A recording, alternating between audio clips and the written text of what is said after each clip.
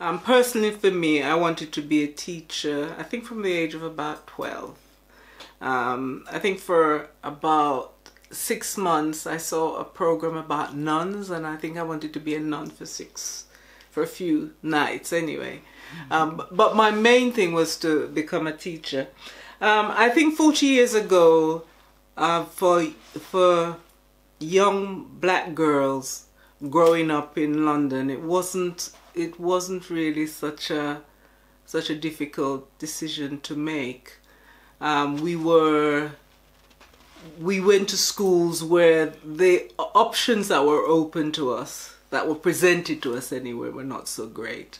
Um, you could either become um, a secretary, and that was usually um, the white. We went to working class schools, secondary schools. Um, white working class, they became typists or secretaries. Secretary was a bit higher. Um, for us, it was um, becoming a nurse, and we didn't have any experience of that in our in our immediate families, but we know it was something that a lot of women came to England to do, and I don't think it was seen in the as something that you really wanted to go into, because it was working with doing what we saw was really um, really basic work because of the SEN um, situation. But teaching was seen as really something that was really aspirational, right? As a black girl, pe- people were achieve if you were achieving in school, bright girls were doing exceptionally well within the constraints of um, South London at that time. The gr- the greatest as- aspiration was to was to become a teacher, mm-hmm. and I became a teacher of literature in eventually. Um, because I loved I loved books, and that that um, started in Jamaica and stayed with me. Um, I didn't start out as a second as a secondary school teacher. I went in a primary school because of the things I was doing in um, South London, in Brixton, um, working in organizations there. So that led to an interest in working in Brixton. I went into um, the teacher centre in Brixton. They offered me a job in Santley School. I said, okay. Well, Beverley was the first one, so she left school and went into training and, and became a teacher. Um, I actually left school at 16 and went out into work. Um, I realized after about two years that it wasn't what I wanted to do. And as Beverley was teaching, I often went to visit um, her school in Santley and spent time there. And when she did um, trips with children. I often went out with her, so I had some idea about um, teaching and really favouring that as a career. But also at school, I, I was interesting as well, interested as well of becoming a teacher. And I remember one of my teachers encouraging me, my English teacher, who gave me lots of encouragement. And also, I think when we were growing up in school, we actually enjoyed school. We enjoyed um, being in education, so it was something that we wanted to continue to do. I think I go back to the thing uh, uh, of saying there weren't a lot of options. Nowadays, you can look and say, oh, there are lots of different things that women can do, right? Yeah. But at that time, if you didn't, the white, certainly in my school, the white girls white working class girls, they went into these low paying office type jobs or they got married. And marriage wasn't seen as a kind of option for us, uh, was it? No. no you know, we had to we had to go out and make and make our way. We had to earn our living. We had to earn our living. Yeah. And and Brenda left school at sixteen and I only escaped leaving school at sixteen because of certain circumstances. Namely, my mother was ill and in hospital. But the idea was that you were supposed to go out and earn and earn your living. Mm. So I became, I was able to go on and do A levels uh, by default. But I got a lot of encouragement from the school because they were really glad that at last so there are some children in the school, some girls, it was girls' school, who were now doing A levels. Right. Yeah, I think also your experience of being um, the only black yeah. um, student in in in your college was because you went outside. I went outside Outside London. London. Yes, I wanted to Yeah. get away from home, so I went 160 miles away. Uh, the period between 1970 to 1977, if not 1980, you could go to college and university and have your fees paid. So if you hadn't got the income, that was the place to go. You'd have maintenance grant, you'd have your fees paid.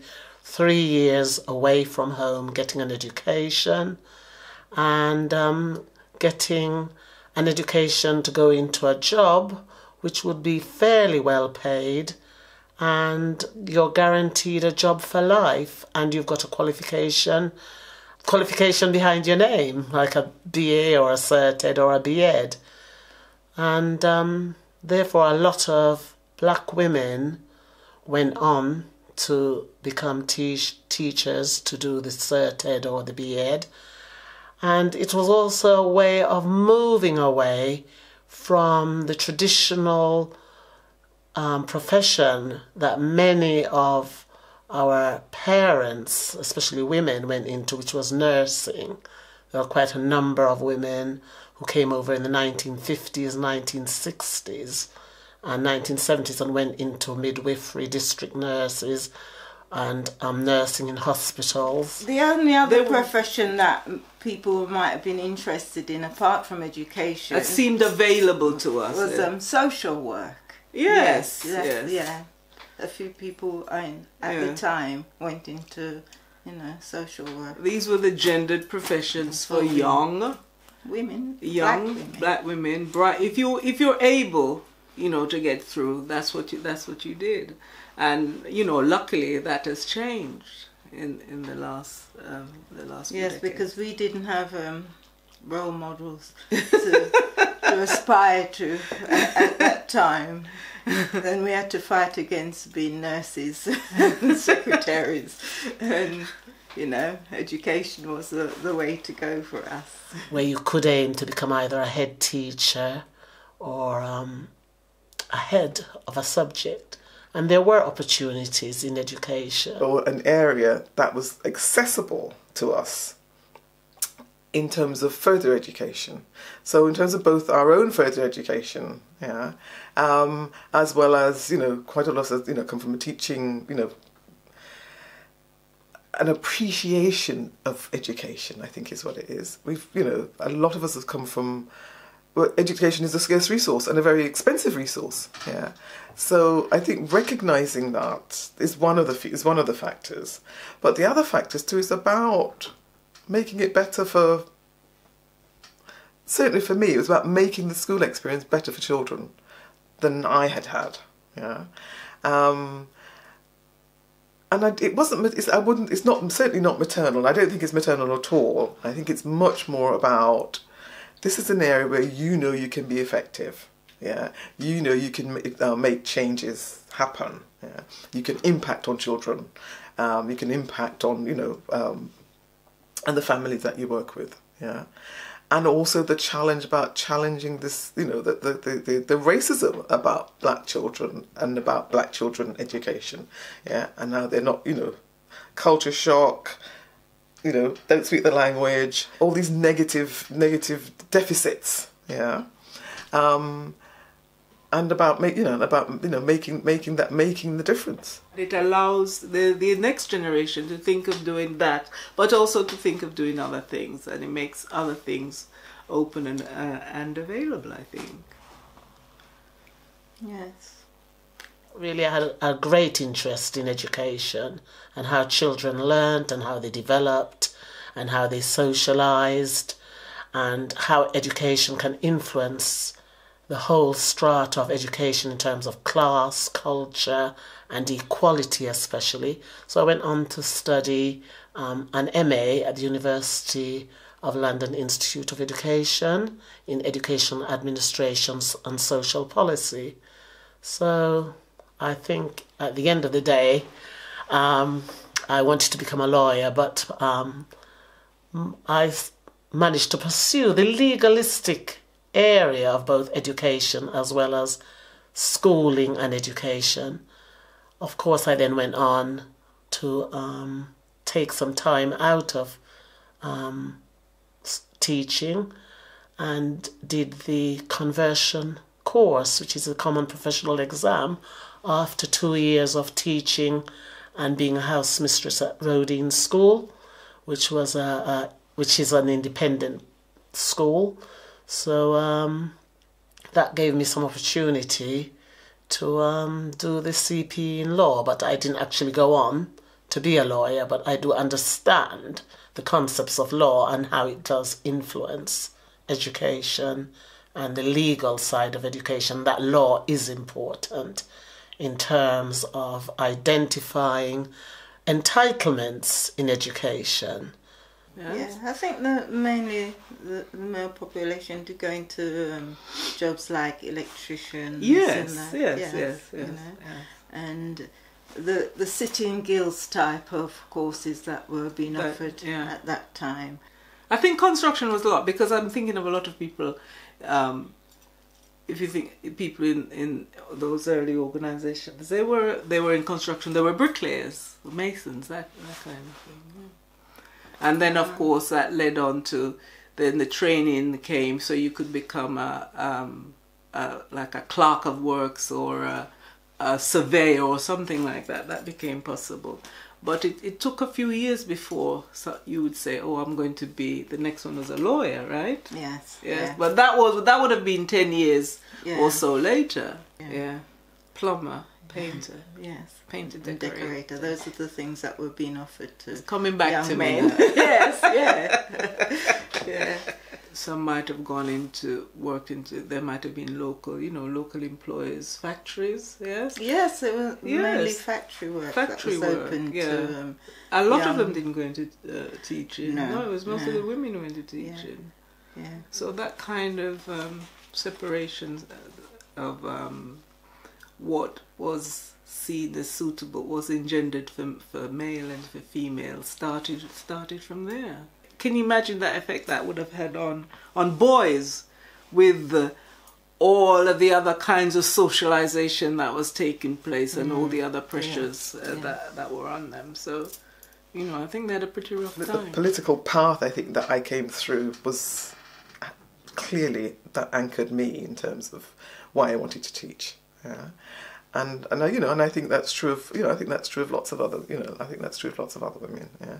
Plus the notion about making making a difference making it making a change yeah. Not fully appreciating just how much you have to change the other people you're working with yeah in in the institution. But believe you know, kind of self belief that you can actually make a difference in terms of the children's and the pupils outcome much more so than the you know than your colleagues yeah but again, by your, the fact that your presence there with that with that agenda does impact on your colleagues. Uh, well, I didn't call them colleagues for a long time, but you know, it does impact on a lot of the people that you're working with. In yeah. living in Bath, I, um, I think culturally we're exposed to lots of culture, such as ballet and dance and music and architecture, and um, much society or society in terms of its, its refinements. But um, I felt that with the kind of ambition and the kind of um, background I came from in Jamaica, where education was important and where I had had a sound primary school education in relation to getting me through the common entrance to get into Manchester High School in Mandeville, Jamaica. Had I been schooled in either Bristol, London, Birmingham, Manchester, I probably wouldn't have ended up being a teacher. I probably would have wanted to probably become a scientist, mathematician, lawyer, because there were more um, openings, more of a curriculum that was open to children um, in bigger and larger cities. I, I can't really explain it, but I feel that um, coming from a small country place, it's not just happening to both to um, black people, but black and white who were not educated in an independent school like Bath High School, Royal High School, and the various independent schools around Bath. Really, in a way, we were just um, secondary school material, really being educated to work in shops, even cleaning, farming, not non-professional, because the education to become professionals were the children who were being paid for at boarding school or sent away to independent school. So in a way, it was a hindrance to be in a place like Bath where there's a lot of very well off rich people.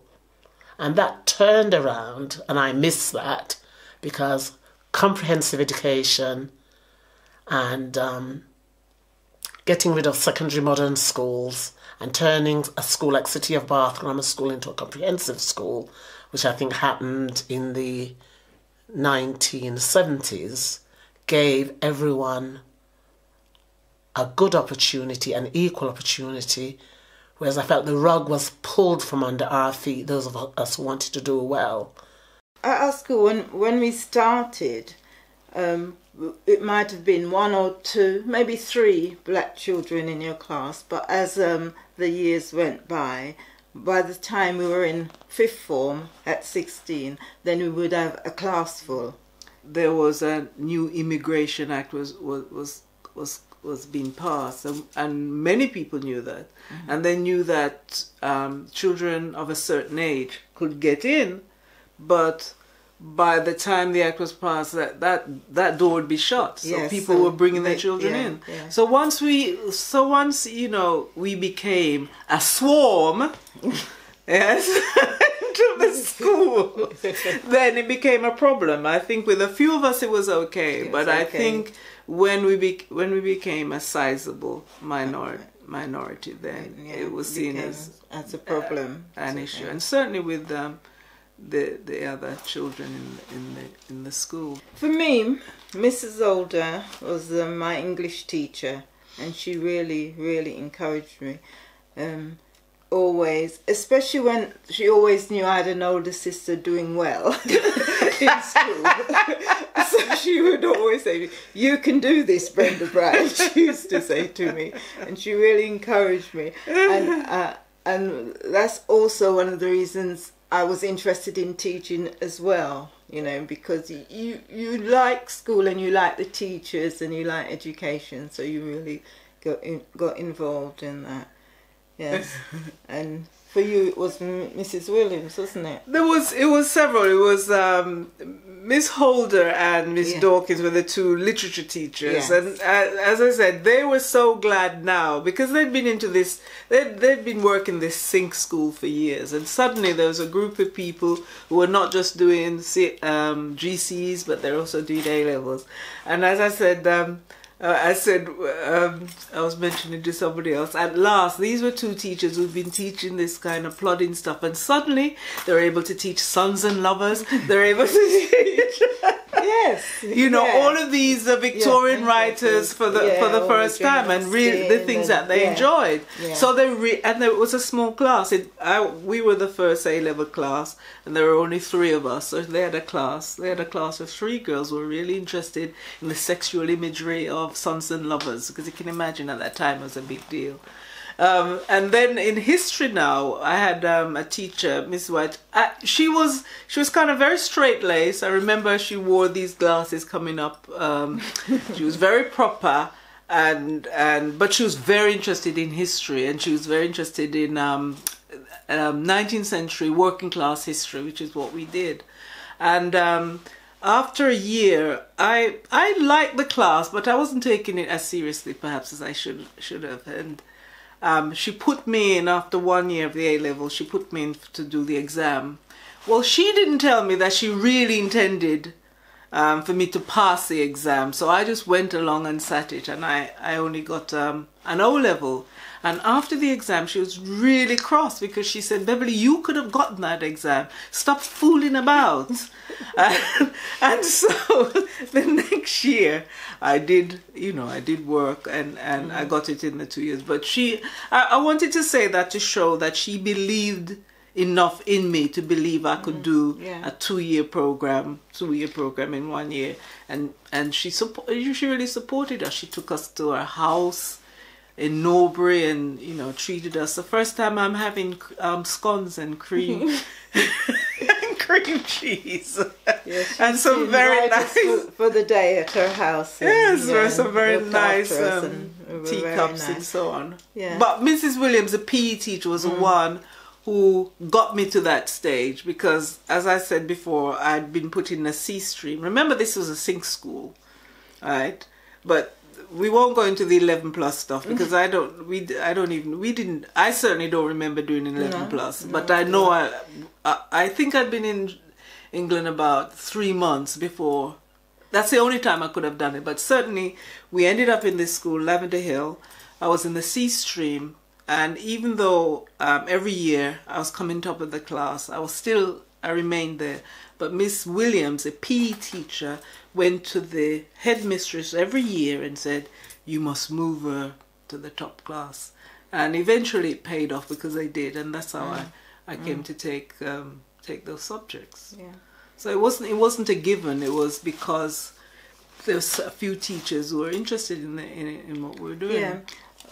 I know Bev says it was a sing school, but it was also a small school Yes. as, as well. And I think that's why we we got that attention because I think at the time when I started secondary school, it was just the time when comprehensive comprehensive schools were introduced. Yes, And the yes. nearest comprehensive was I think was Putney away from or maybe Stockwell Stockwell Manor the other Yeah. direction.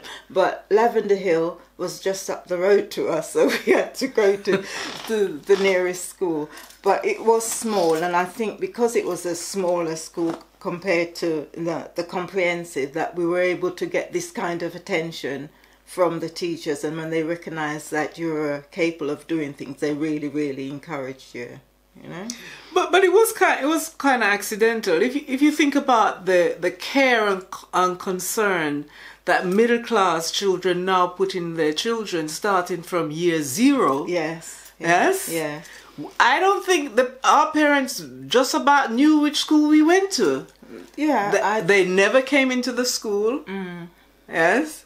That's, They- uh, yeah, and that's because they'd come from Jamaica, and Yeah. to them, any school in England was, Was probably better. a good school. It was a good school, even a It's- special school, Yeah. which is another story Yeah, about yeah, what happened because- with those yes, schools. So I mean, So- I don't, I don't blame them. What, but what I want to emphasize is the difference, the cultural capital that was not invested in in um, us.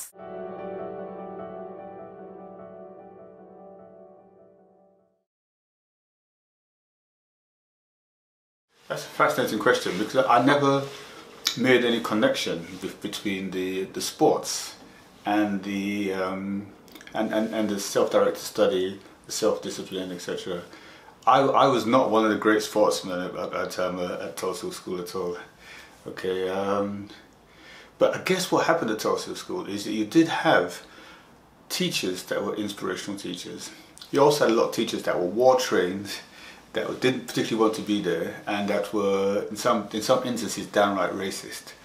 But alongside those, you had I mean, we had teachers who were really committed to the comprehensive ideal. I think Tulse was one of the first comprehensive schools in the country, if not the first, and there were people there who had strong left-wing views, strong liberal views, democratic views, and wanted to do something about the ills of society and to make it a more just society. And so they wanted to teach at Tulse because they wanted to, to, to make a contribution. That might be why, but I also think that um, in terms of sports, I also think we had um, people like, like rugby teachers, like Mr. Morgan and people like that. I, I'm not sure what it is, but they want they they were. I can't say enough whether it was their politics or what, but they wanted us to succeed. They came in wanting us to be good at sports. That, that was no doubt about it. A cynic would say there might also be a slight racist um, stereotype in the background that believing that blacks are automatically better sportsmen, better athletes, and so they might have um, thought that they might have pushed us more because they believed that we could do more. That might have been it. I'm not sure. I really am not sure. I hadn't thought about that one before. But in terms of the discipline of study, that's very interesting because I think that um, a lot of us were not great students, you know, in terms of um, the, the way that, that young people are, are kind of pushed to learn today. but we did have inspirational teachers. We had people who, who, who had different ways of thinking about education. Um, and, and, and they and they cared, they, at least they appeared to care for us. Um, and their politics meant that they would structure the classes in ways that were quite creative. What was important to them wasn't necessarily whether we passed um, seven GCSEs. what's important to them was, was that we learned, and, and, and we learned how to think. So there were some teachers who would speak explicitly about that. Learning how to think, learning how to learn. So they were more about developing the person as a human being than they were about just pushing you through mechanically into passing exams. This is a prelude to going to Tulse Hill. Um, Tulse Hill was part of a new wave of education policy after the Second World War. Um, before that, it was grammar schools and secondary modern schools. And grammar schools tended to cater for middle classes, right? Those who go into white collar jobs. Uh, and you could, if you had 11 plus exam at 11 years old, that defined which kind of school you went to. So I was 11 plus boy. I passed my 11 plus with flying colours.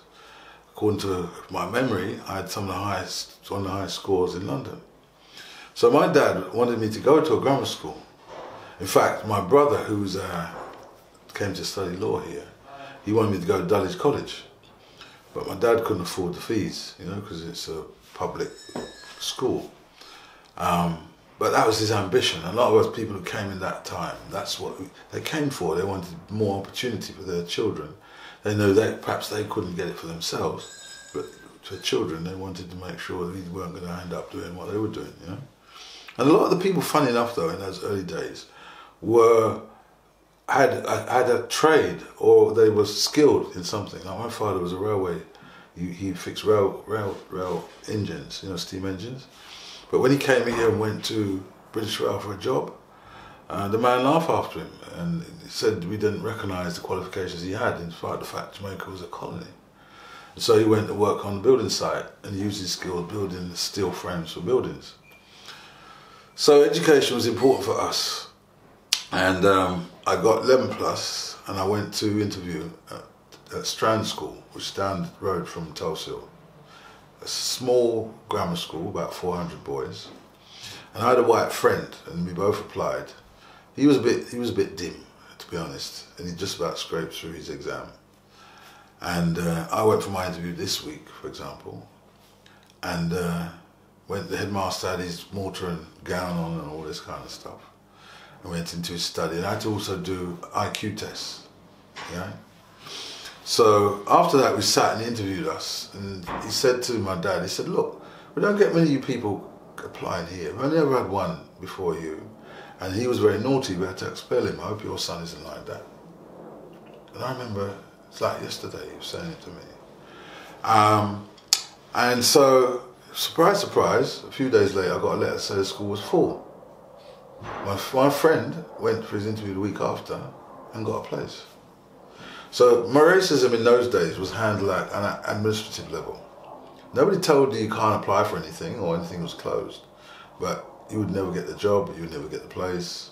You know, you just went through the motions. Um, so I, I'd gone, also I'd applied to Battersea Grammar School, didn't get in there, so I ended up at Tulse Hill. Now Tulse Hill was a bit of a, a, a masquerade in the sense that it's supposed to be a comprehensive school. But what it was was a secondary modern school and the grammar school in one building. So the four, top four forms in the when I joined, I was in the top form there. There was only four of us as black kids in the first top four forms. And there were it was an it was a grammar school effectively. The same curriculum they did down the road at the Strand, we did at Tulse Hill. So you had to do Latin, Greek, three sciences, a Latin, for a modern language, which was I did Spanish, you could do French or German, um, and uh, geography, history, all those. It was a the classic li, uh, liberal arts curriculum. So it was it was a bit of a skank, really. But vast majority of the black kids at the school, most of us were arriving in the country at that time. They were all thrown into the bottom two sets of the of the year. So somebody like Linton Kwesi Johnson, for example, he came to the school when we were in the second year. um, and they threw him down in the bottom part of the part of the because they assumed automatically if you were coming from abroad that you would be backward, you know. When most of us knew more than people we were dealing with here. Because when I went to school here, I knew how to read and write. I knew all the uh, the, the, the Jeff and John books and all this kind of stuff. I, I could read them easily because I'd had to do that at home, you know. So, but that's the way they assessed us. And I'm sure you would have heard about uh, this book by Bernard Coard called How the West Indian Child is Made Educationally Subnormal by the English School System. What it did was analyse that, you know, how white people's perceptions of us um, disadvantaged us and threw us into remedial education. Uh, and many of our parents didn't fully understand the implication. They thought it was, you know, something extra they were giving us when it, what it was doing was kind of pushing us more and more to the margins. You know, when my parents came here, they were, they were tradespeople, and they were brought here for you know a particular reason to help rebuild England after the war, and and they had a lot of trade people here, and and the second generation, which is us, um, went through a full full education system, and and we found it as easy or as difficult as the next person, as a, a person that was born here, uh, because we had the same we had the same schooling, we had the same. You know, there's a little bit of a biasness, but you know, if we if we wanted it bad enough, we we got it, and and we did. And it was a good generation to be in. You know, we had some lovely people around. Tulse was a good experience because it was a very big school, over 2,000 boys. It was a boys only school when I went there. It had those two dimensions to it. It was both a grammar school and a secondary modern school together. So whereas if I'd gone to the grammar school, I'd only been with that kind of elite sort of group. Um, when I was out of the class, in the playground and in sports teams and the rest of it, you, was, you were moving with everybody. And you had to know how to hold your own. Because in a school of over 2,000 boys, it's a rough place, particularly because, you know, you had that broad range of young people there. So you had to learn to be street smart. You had to learn, you had the education of the street there too, which I wouldn't have gotten if I'd just gone to grammar school. There were definitely teachers, as I think about it, who were really committed to helping young black boys become successful. And I know some teachers who virtually adopted uh, um, people and would make sure that they took the exams and make sure they went in for resets. So it would really pressurize them to succeed because they wanted to make this contribution to society. To society, to, to their ethics, to their principles, to the values that they held, yeah. Because at that time, when, when in the fifth and sixth year, you had people like Angela Davis in the news, the Black Panthers in the news. Um, you had local branch, a local branch of the Black Panthers in Brixton, and in our social setting, there was talk about um, revolution, but also also talk about the importance of um, getting exams, almost as a way of achieving liberation, almost as a way of, of achieving change, of, of fighting oppression. Um, now I didn't understand that in any great detail, but I remember one guy, Trevor Sinclair, telling me about these things, this thing called a university. I'd never heard of a university before. No teacher told me about a university, but Trevor heard about it from someone else, and we spoke about it. Yeah, um, and so we encouraged each other, to, each other to, to, to, to get to, to stay at school, to get to university, to do better um, in terms of our, our, academic aspirations. So Tulse had this kind of reputation as a tough place, hard place, but we were doing. A lot of us did quite well academically as well because we used to, not because the school itself was inherently good, but there was kind of rivalry, and it wasn't about you mustn't study. Our parents was pushing us hard, um, and we used to encourage each other. Um, and there were some members of the staff there who were very supportive, um, and uh, this led to you know us doing lots of things really, and they to organise events to take us away to visit uh, places, you know, um, and. Uh, we started our new club. One of the the RE teacher at Tulse Hill, um, he was a Catholic priest, quite young. He'd just come over to join. There's a, a, a Corpus Christi church. Um, all the priests lived together in a priest's house in Brixton Hill, and he was designated to be Tulse Hill's RE teacher? There, there was a, a lesson one day, and I think I was in the fifth form. It was an RE lesson, religious education, and the um, uh, the teacher I think was a priest. Up until the, the point of this lesson, he was a well liked man, well valued man, and we and we thought he was a good bloke. But in this lesson, he covered something on violence amongst Black Americans, and essentially what he was saying is that is it wrong, or is it right for the Black Panthers to carry guns in America? Up until that point in time, the class was a mixed class, black and white. Um, I remember thinking to myself, well, if the whites can carry guns, or if the police can carry guns, and the police are shooting black people, why shouldn't the black people be able to carry guns? His point was about violence breeds violence. And all I could think about was that, well, they're shooting us, so, why can't we shoot them back? Right, why can't we carry guns? What was fascinating is that the class polarized in the discussion. And all the white boys agreed that the Panthers shouldn't carry guns. And if not all the black boys, nearly all the black boys agreed that the Panthers should be allowed to carry guns. It was a tough conversation. It was really, really difficult. And and the teacher was devastated by what he was seeing. He was really hurt by what he saw. And me and my colleagues, me and, me and some of the black boys, we walked out of that lesson. We walked down to Brockwell Park. I, I can still remember it now. We sat down and we spoke about our lives, about politics, about how we found ourselves, about that conversation that we have just had.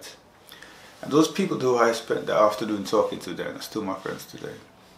It was one of those powerful moments when, when something shifted and when all of us after that, from that moment on, took black politics a lot more seriously than we had done previously. Sports side was quite easy because I just went out and did it and worked hard at it and that was fine. But the other side of it, you know, I I felt I was lacking, you know, and um, and and these guys really inspired me to, you know, I can play sports and I still have an education, and um, yeah, you know, they, they were good.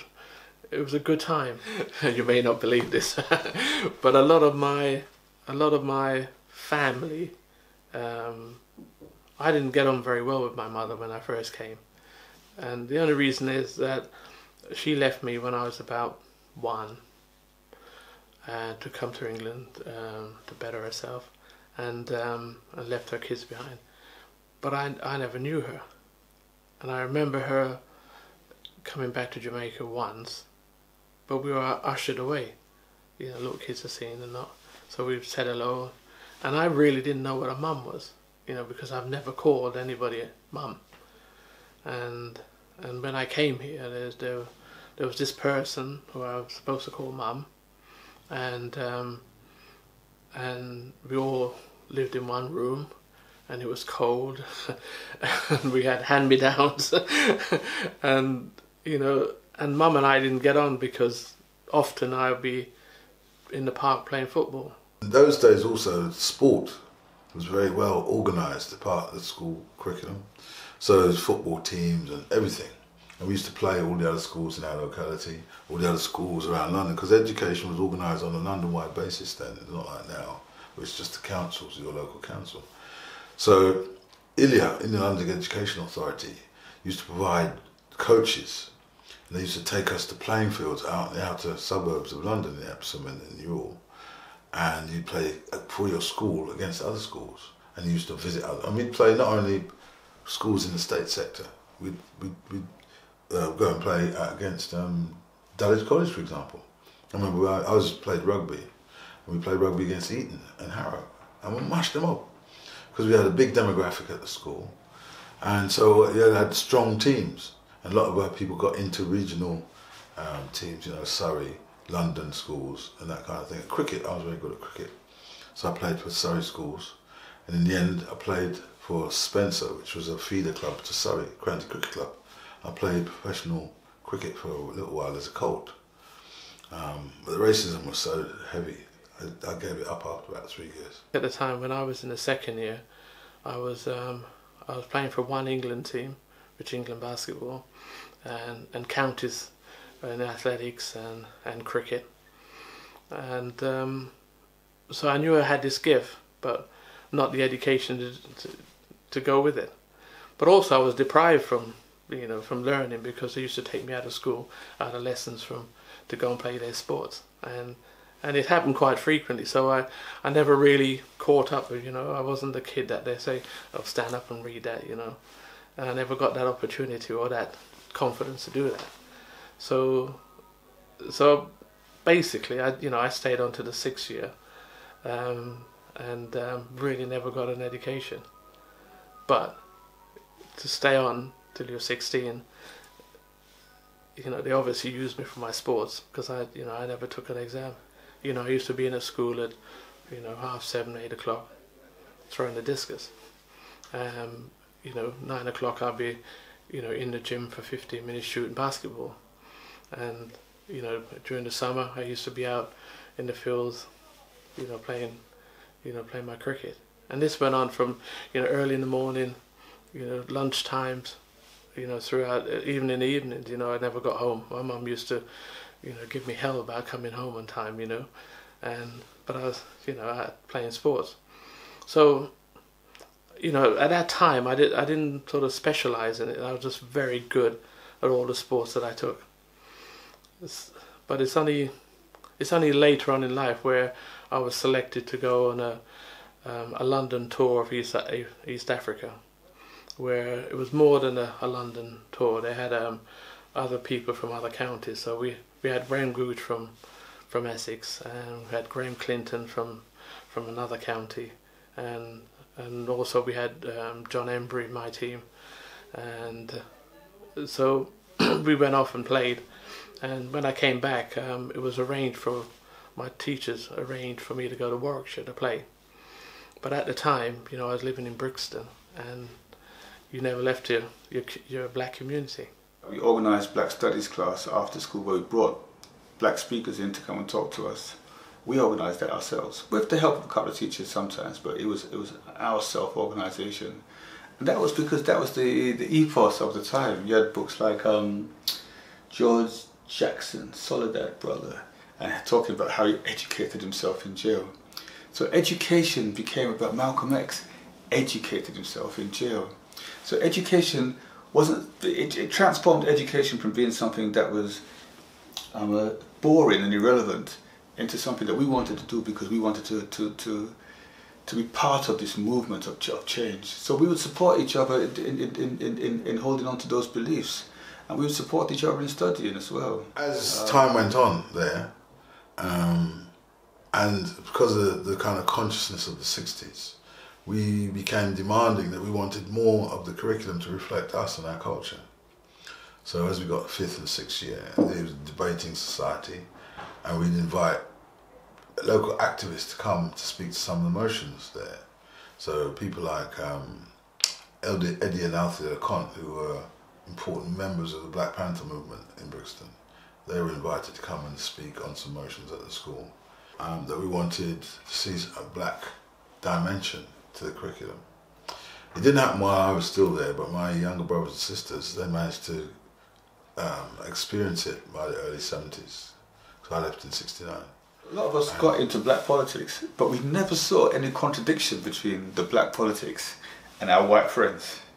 You know, um, in fact, some of our white friends would come to the Black Studies, when we organised Black Studies, some of them would come to the Black Studies class. Um, so we, we, I think we made a clear distinction between white power or, or white racism and our friends and, and, and the white people in, in school. I mean, we played rugby with some of those guys, and you know the rugby pitch is all for one and one for all. You're, you're there together. Um, and we had some very, very powerful friendships and, and, and relationships. Um, in fact, uh, there's one guy there who's who's still very much a part of that that group of friends. Uh, this white guy owns a framing shop down there, and we were able to separate out the behaviours from the personalities of the individuals who we knew and who trusted. Even though we would challenge and we would argue and we would fight. I think by then my my interest was into playing sports, and um, so that's where my heart went went to basketball because I was already you know, playing for England. I was playing for England schools under 19s and playing for England junior men. So at the age of 16, 17, I was, ready to play in the big league and, and good enough to do that. So a lot of my efforts went to that. When the league first started in 1972, um, I don't know, I was about 18, 19 at the time, and I was probably one of the youngest player, players there. And and if I can remember that there was only about three or four black players in the whole league out of 12 or 14 teams there was only four of us but in my team um, there was I was the only one for many years. And and living in Brixton and the team that I played for um, is Sutton Sutton and Crystal Palace. They were all generated out of Sutton which is a you know a very wide collar working area. But um and um and it was very it was very difficult for me at the time when I you know first started. Uh, I, I remember playing a game and um, and a few of the the opposition was saying to me what am I doing here? I shouldn't be here. And they they made notes about my colour. And um, and you know obviously they were you know they now called it game gamesmanship rather than torment. And and they really tormented me. And but the you know the way I am is that you know I knew that one day I will come back and haunt them. And I made it very clear to them that one day I'll be better than you and I will come back and I will give you the same treatment you'll be giving me. And luckily you know a few years down the line I did go back and I did torment them. And they, they were saying to me why didn't you shut up and leave me alone? And I you know I tell them I told them that payback is very important. So yeah so it was um, it was very tough. A that we were heavily influenced by the black movement. It made us feel proud. It made us feel strong. Gave, gave us a, a self-confidence and a sense of direction. Um, and, and, and also we were growing up in a period of optimism. People believed that the future would be better you know so it was the hippie era it was the Beatles era it was the era of, of, of peace and love and and everything seemed like it was possible and the paradox of that is that what made that possible, this kind of radical anti-capital, you know, re re rebellion against some of the values of capitalism, was the fact that capitalism was doing so well in Britain at that time. The economy was doing very well. It was a period of growth. Um, you, you had zero unemployment nearly. You could walk out of a job in the morning and walk into a job in the afternoon. That gave you a lot of freedom to think that what I want to do is not so much study to get an, of eight A levels or, or, eight GCSEs and three A levels. What I want to do is to learn stuff that's important to me. That kind of self-actualization. It was possible to be much, much, much stronger about that in those in that time than I think it is now. When, when, when success is removed, and it's not about who you are, but it's about what the qualifications you can get. It's not about the values and the, the contribution that you can make to, to, to principles, values, and stuff. It's, it's about how many GCSEs can you get? You're valued by that number. And parents do it now. Parents who were in the, who, who were rebels in the 70s um, and, and, now talk about their children and their grandchildren with pride about just how many A levels they got, how many A stars they got.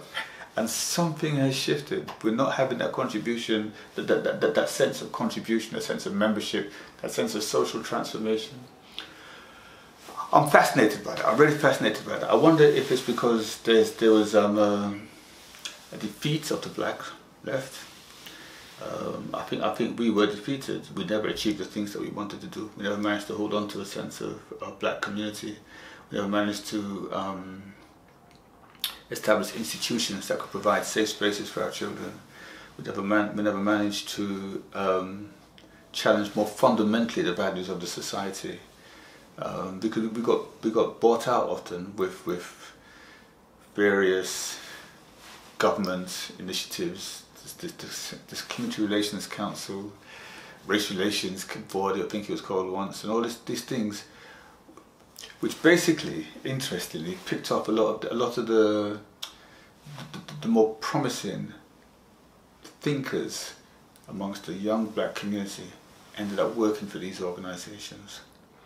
But we never achieved as much inside those organisations as we achieved when we, was, when we self-organised. I remember the whole battle against schools for the educationally subnormal, which you must have heard about. Um, at one point in time, schools for educationally subnormal children, so-called educationally subnormal children, was, was, was more than 70% black in London, right? And I was part of groups that would go around and like rescue kids from schools, drive them across London, put them into a different school quickly.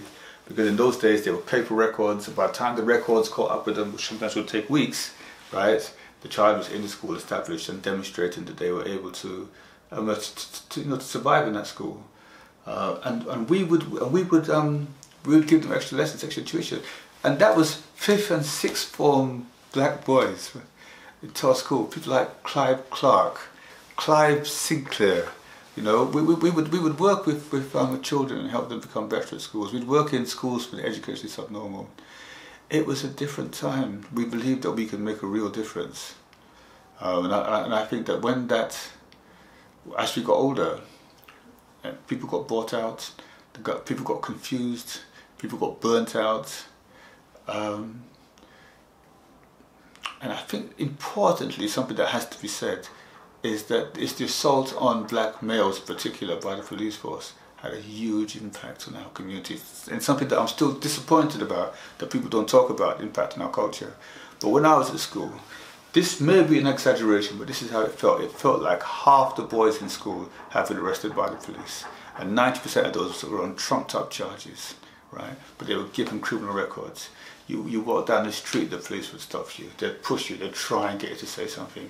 You walk on the street late at night on your own, it would be very dangerous. You get beaten up by the police. If you're lucky, they'd leave you there. If you're unlucky, they charge you for assaulting the police, right? Um, so what they successfully did is they criminalized a whole generation of black youth who went to prison. When they came out, they had criminal records. They had their dreams squashed because we had such high dreams they had that, that big shake-up of their dreams. Um, they had a society that wouldn't that, that wouldn't employ them.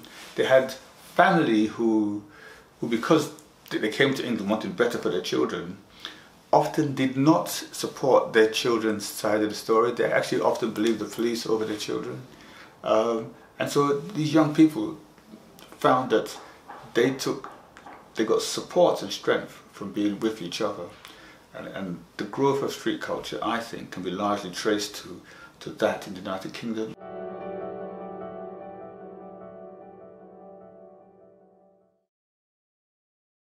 I'm Joe, the J in TWJ. Now, TWJ, really, the idea or the beginning of it was three friends who, from school days and as teenagers, we loved music. On other things, we used to go out together, especially my friend Trevor. We, uh, from as I said, from school, we knew each other. And then leaving school, I remember I used to Sunday school teach on a Sunday, and I would finish at four. Trevor would meet me. We would get the train from the Oval and uh, go up to Leicester Square Wardour Street, the Flamingo Club. And back in those days, they had a three to six in the afternoon session. You'd have a live group, either one from here or an American band. Geno Washington and the Ram Jam Band, Rufus Thomas. A lot of American artists used to come down and uh, perform there. And Trevor and I, with a lot of other friends, we all used to get the train, the underground from the Oval or Stockwell and go up to the West End. Well, Trevor's elder brother, he uh, was an engineer and he used to um, build amplifiers for the sound systems of the day, especially the ones in South London, i.e. Sir Coxsone, King Tubby's and so on. A lot of the sound, Trevor's brother Errol, he was the uh, the builder of the amplifiers. The TWJ was created out of the names the Christian names of the three guys that got together who used to go out and found um, that there was a shortage of the new emerging soul music. And the names were uh, myself, Trevor, so that's where the T arrived from. There was T W, Wilkin, where the W arrived from, and J, Joe, who uh, was the J of the TWJ.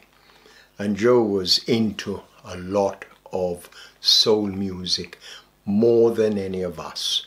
He used to buy soul music and play in his house on his on his blue spot every weekend. But the main criteria of all that was that we found there was a lack of soul being played to the young black crowd. You could hire a disco unit, which was just two speakers, two turntables, and a microphone. Um, but it wasn't powerful enough. Um, Trevor's brother Errol, who used to build the amplifiers for, for most of the sound systems, uh, built the TWJ amp. So the sound system was, was like uh, a, a major part for sound system operators. You had to have the best sound, the best quality, big speaker boxes, powerful boxes, powerful sounds, shake the place down. That was the whole idea uh, uh, of be, having a big sound. It was powerful. The sound system traditionally was uh, out of Jamaica when the big uh, street dances, where they used, so everybody from a district used to follow a big sound out of Jamaica. So those who came here followed the same trend. And it was a, a trend where, because it created a togetherness, there was a party. Oh, who is playing? Oh, my favorite sound is playing. Duke Reid is playing there. Yeah, yeah, I'll go. Tell, tell us where it is. So it was like a party, but we used to call that party a blues. a blues dance. It was a house affair. People who um, took charge of that would empty out two or three rooms where they lived and create a little bar out of that. And so the sound system used to take his speaker boxes in there and they would uh, set up and there would a word go around and it only need a few followers to be saying yes um, my favorite song is playing in Gartree Road Peckham um, Saturday night and it would be packed because everybody would see, see, each other either shopping in Brixton or Peckham or around the various areas, Dalston Junction where we used to congregate. Hey, where is the party tonight? And so it was an easy conduit to that. On a Saturday evening, we say, where are you going tonight, Errol? And he would tell us and say, oh, can we come? Sometimes he'd let us come along with him. And uh, we liked what we saw. And then we decided one day that we would have our own uh, sound system. Trevor, Willie and Joe.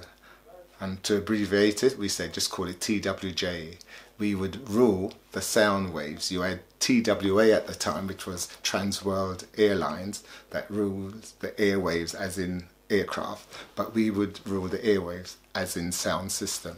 So that's how the concept of our name came about. TWJ was respected by other sound system because why? We play at sound system, we had the boxes, we had the equipment, and we delivered what we were delivering and we did what we were doing in our field 110%. So those guys respected us and we couldn't go into their quarters and play like how they played deliver their music like how they deliver it. We were a totally different sound. But we played together and they respected the way that we all approached and we all played in unison together. So the other sound system would come to us and says, Hey TWJ, my sister is getting married next week Saturday. Can you do the reception for me? Because I can't carry all my followers in there and they only want me to play a certain way. But you TWJ, you're an all-rounder. you know. So we will do their weddings and their parties and and so forth. We played at a few birthday parties as such, and I think the first really big break we got, uh, living in uh, in but we all lived in Vauxhall, Stockwell area. There was a youth club in Stockwell called the Lansdowne, and we got the job to play on a the Tuesday evening club when we started, there was probably about 30 kids used to come along on a Tuesday evening. You could play table tennis, just mess around, listen to music.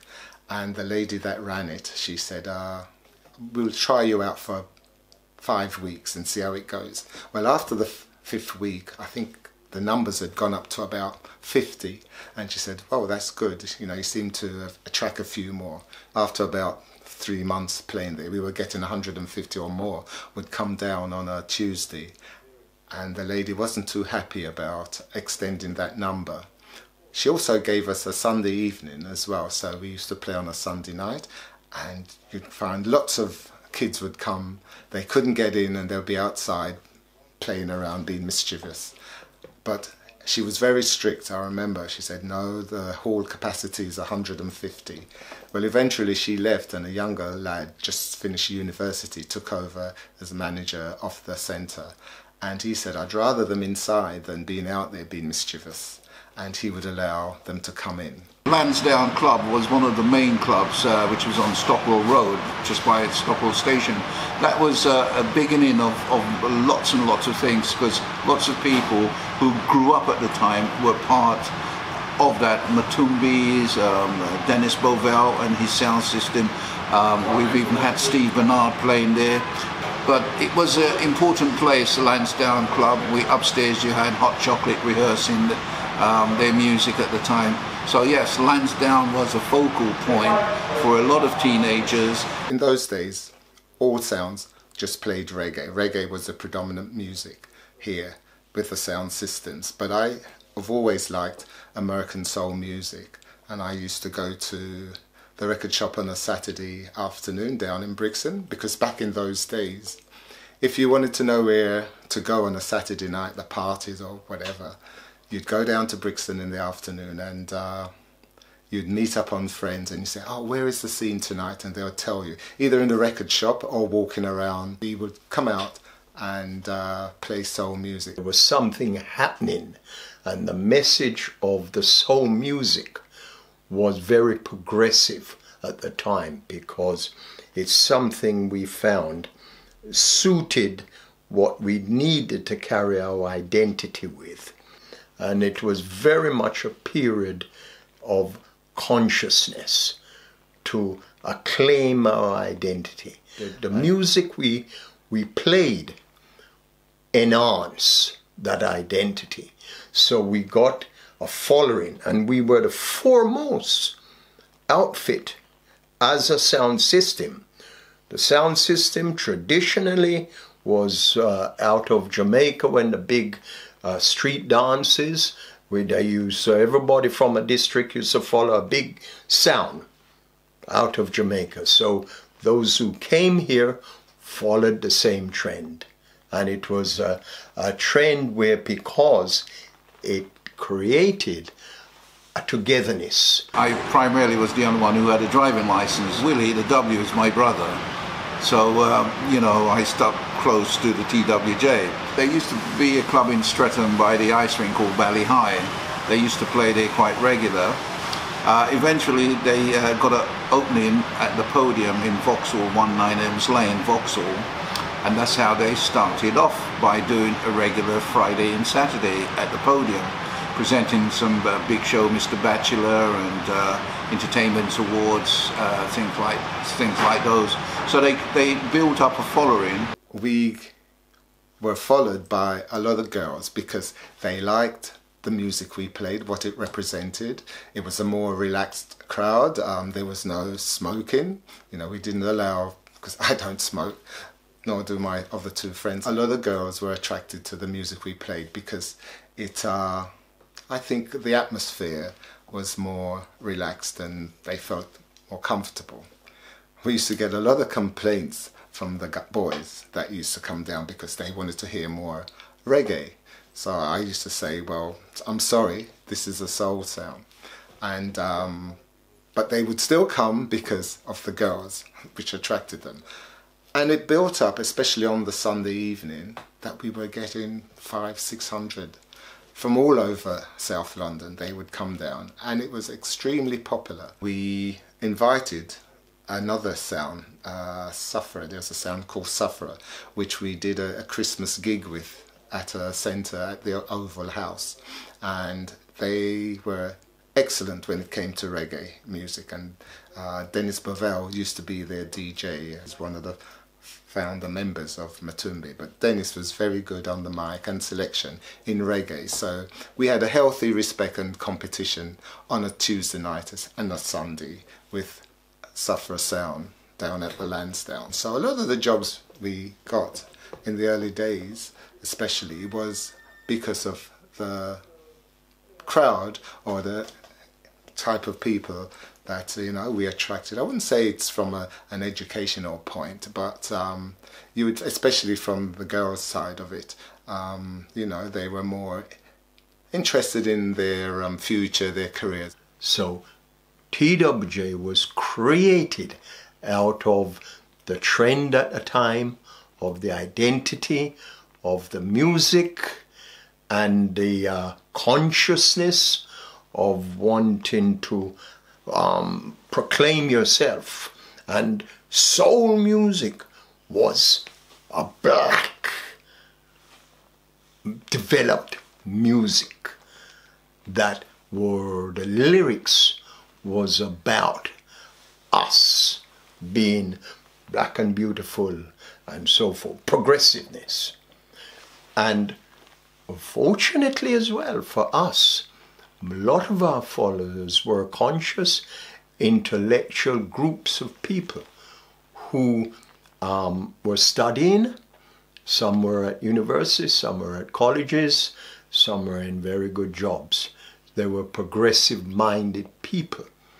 And they took on board the full extent of the conscious movement of this, the birth of civil rights and so on that was happening it wasn't just happening in America, it was happening here as well. Because many had, uh, had been members of uh, little groups like the Black Fasimbas, who used to um, be an organized, um, disciplined group who used to lay out their, um, their what they were protesting for furtherance of themselves. So it was a very intellectual period that people, young people, got engaged in. People were more conscious, I suppose, of you know the black um, community in Britain and how they were treated. And uh, there was a group that I think were based in uh, New Cross called the Fasimbas, who regularly would have uh, functions or have um, socials and would get us to play for them. Just again because of what our sound system at the time represented, but people who probably were more conscious of, you know, the society we were in and how we were perceived. We would then go out and find records, conscious records, soul mainly, as I said, because we were mainly that. Uh, records like James Brown's version of, well, his songs, Say It Loud, I'm Black and I'm Proud. I'll always remember that. When you put that on, it was a floor filler you put that on, everybody'd get up. Um, Nina Simone's version of Young, Gifted and Black. We also used to play at, um, there used to be a student, West Indian Student Centre in Earl's Court, where um, it was a building I think was funded by all the Caribbean islands and uh, as a West Indian you could go down there they had a library which you could use free access to uh, there were different groups organizations in there there was I remember there was a dance group they had a football team they'd ask us to play we played down there on many occasions um, I personally used to like it because on a Sunday you could go down there and then you could get a dinner for an old money the equivalent of uh, about 12p, 12 and a half p today because it was two and sixpence. That's right. You know, you could get a dinner and uh, you'd meet up with your friends. I, I loved sport, table tennis, and they had a table in the basement in a room like a, a, sitting room. There wasn't a lot of space, but you'd find 30, 40 guys pressed against the wall with a table in the min- middle and winners stay on. And as I said, you'd go down there and you'd spend your whole afternoon and you may just get one game, but then you'd go upstairs and have a meal, as I say, you know, and chat and then go home. TWJ wasn't a competition sound, you know, they didn't go in much for competition. Um, you know, they were completely a different different sound because most of the sound system clashes were a sort of big heavy sounds clashing, Jah Tubbys, Coxsone, and all these other sounds, Unity and Fat Man and, and, and Nilux and um, you know all these sounds were clashing at one stage or another. But TWJ wasn't really a clashing sound; it was more of an entertaining sound, and it played it played for the ladies and the people who want to party down. When we started to run our own nightclubs or the promotions that we were doing, that we had to do something different, we then created various things. And because we were at the podium on a regular basis, we had to create something that was an in-house entertainment. So came up with the idea that we'll do an in-house entertainment, only advertise it in the club the week before. That means the people who are there, we will say, oh, next week we're going to have a Miss Beautiful Legs competition. And people talk about it and the buzz. And we did that the following week, you know, and the, the, the, the interest was there. But we never intended the Miss Beautiful Legs, to run for 19, 20 years. Podium was more like a sort of a, we, we tried to run it like it was then like the talk of the town. The talk of the town was a cabaret and dinner place, and we tried to instill that over in our side. We created about six or seven different um, activity, and these activities only appeared in the club and announced on the night. So people coming down next week wouldn't know what was going to be happening this weekend. So we created the Miss Beautiful Legs, the Queen's Fashion Show, Mr. Bachelor, the Wear Something White Ball. I specifically like the Miss Beautiful Legs because, you know, normally when girls we did beauty competitions and you know you're you're you're, you're kissing cheeks and you're shaking hand, but to get down on the floor between a nice pair of legs, man, and hold I on to to the bring knee. the thing down to this level. Well, that's what I used to do. You know, the podium was really a step up for us because um, before that, I would say most of the gigs we did, it was more for the love. Well, I'm, certainly for me, it was the love of playing music from a lucrative financial point. It wasn't really for making money because when you took into consideration the upkeep of the equipment, uh, the van, uh, buying music, whatever you earned. And uh, most time people say, but all you have to do is bring a few records down. They never saw really the expense of running a sound efficiently. But um, up until I'd say the podium, it was more for the love of it. Then at the podium, you know, we controlled more of it, like the gate and so on. So we know we then thought we could maybe take this a step further. We needed an MC, and we looked around for somebody who supposedly was introduced to us as an MC. And I remember clearly he wanted 450 pounds to do the MC on the night. And he turned up and uh, he demanded the money. And if we didn't pay him the money, there will be no MC, no show, because it's now centered around him.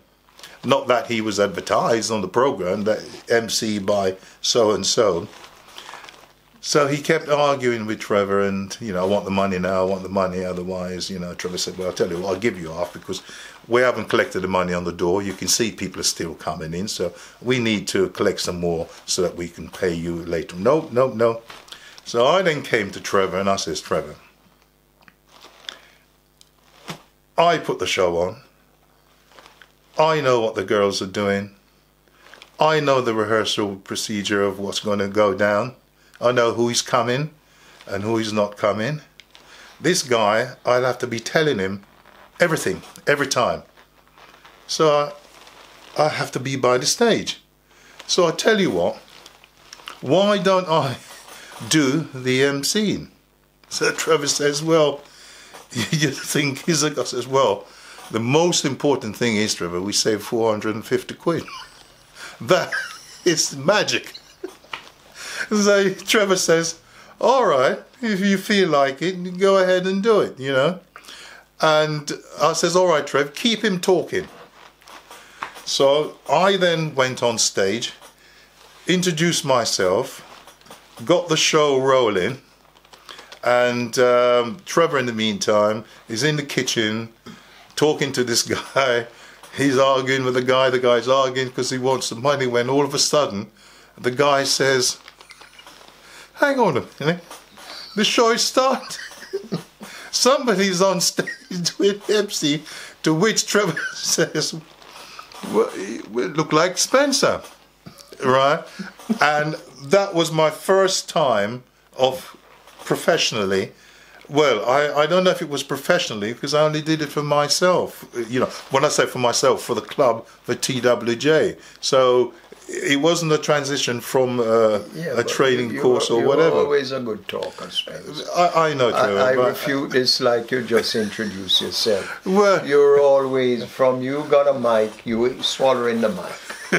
so I don't know where you get Uh, that yeah. version. So Uh, as if Thank you. anybody could touch you. one of the girls got in touch with us and said, "Look, the sound ain't turned up. Can you come and play?" Well, we say, "Yeah, yeah, yeah, yeah." We had no transport, couldn't get down there. We didn't have any music. I think we had about twenty records. I said to Joe and Trevor, "Listen, guys, this sound business here is no hobby. I can see from the amount of work that we've done and what's going to be carrying on, we have to look at this thing professionally. Are we going to pack up work and do a sound system professionally? Joe say you're mad. I'm on the post office. Trevor says you're mad. He was on the post. yeah. But So I said, well, GPO, as it was called then, G- which yeah, is now yeah. British Telecom, we're all engineers. Well, at the you know, and and um, I said, well, you know, if it come to be, I don't mind, but you know, one thing that I do know, we have to take it so seriously, and being in the public eye with a microphone in your hand is a very dangerous thing. We are going to be looked at politically.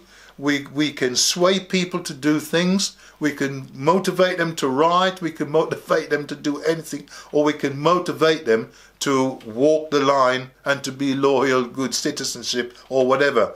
This is what it means us having a sound system because at the day the sound system was now the first port of call of any entertainment in which you have a group of people in which you can talk to. And I knew from playing that night with 30 records and doing lots of talking, I knew that I could manipulate the crowd to think, to do, and to believe what we're doing and take them away that we ain't got no records. But they think they're hearing records because I'm congratulating the winner and you know whatever whatever From the podium, you know, and now we're looking at it more from a, uh, a business point of view rather than just the pleasure of playing music. Uh, we then uh, got involved with the night moves and we took over the running of night moves, you know, and you know things, you know, went on from there. Night Moves was quite a, a important part of everybody's weekend. It was it was a decently run club. Everyone dressed smart to go there, and everybody looked forward to going to Night Moves on a Saturday, Friday, Saturday, and Sunday. Uh, they had big names, uh, DJs, including myself, who was on Radio London at the time, uh, performing, playing there. Uh, celebrities used to come from abroad and used to enjoy themselves at uh, night moves. So it was an important uh, part of our culture in entertainment, going out weekends, enjoying enjoying life. we originally um, uh, played because at the time as well there was some good lovers rock and lovers rock suited our style of playing too so going with the trend of what was ha- being produced we embraced it as well so um, the the period of the time wasn't just we got carried away with what we just wanted to do. Influence also came from what was happening at the time, and you were greatly influenced by that. Mm-hmm. And if one was to tell me, were you decided on a conscious involvement with what was happening with the civil rights era? I said at first no. I got interest, uh, got sucked into it, and when I realized the importance of it, and the ego it gave me, and the pride it gave me, and the status now we were attempting to achieve then, that is when I realized, my God, what are we engaged in? This is major impact.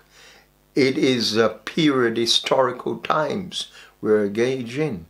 And for a good period, we didn't realize that this was a very important period.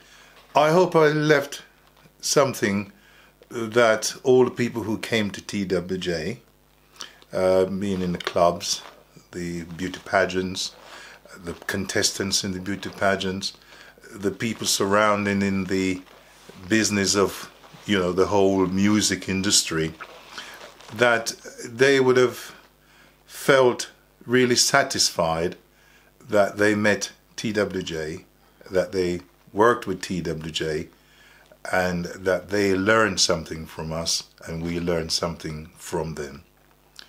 The clients who came to the clubs in the main vein of dancing will also remember the fun, the place that they met their girlfriends, husbands, that they, you know, made a connection with friends, not just here in London, but I should imagine spanning abroad, the Caribbean, uh, America, and it happened here in, in, in, in Night Moves.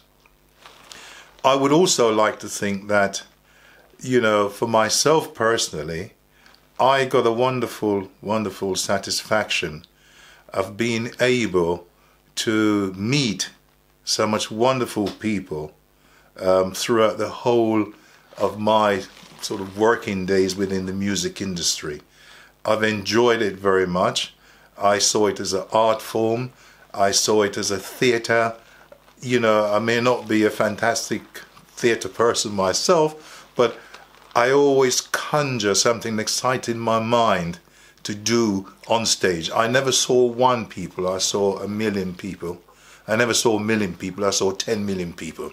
And I think to entertain one person is just as much as to entertain a million people in one go. The legacy only remains with the people who visit there and engage into that. They can only mention to us when they see us or any member of the staff, I miss night moves. For whatever reason they have, they miss night moves. There's not another club like that around. Mind you, much of these people are past the age now that they want to rush into a nightclub. So, so I want you to take this as a serious comment when you ask about legacy. Legacy, the ones that participate and engage themselves at a particular time. But it's one of the failings with our own people as a people. We do not record much of our experiences whether those who activate themselves could write a narrative and articulate it so that it's readable and can be understood with people with reasonable intelligence. We probably haven't had the confidence even to take that venture. But a legacy has to be recorded and passed on because legacy is only beneficial to those who are coming up and want an exercise on those who've been there before because life has a habit of repeating pattern for pattern of circumstances. And when you read the experiences of others it gives you puts you in a position where you have that you can use that as a guidance. And I welcome your, your inroad into trying to get people who've had certain experiences over certain time and apply themselves to the situation of the day. And I welcome that being recorded because that then is the legacy when it's recorded and it can be used by the others that follows.